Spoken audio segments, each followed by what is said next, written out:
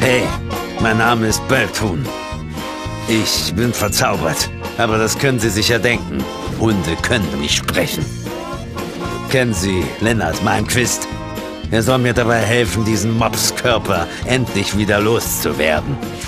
Naja, und die dunklen Mächte besiegen soll er auch. Dabei glaubt er nicht mal an Magie. Ich bin gespannt, wie das Ganze ausgeht. Sie auch?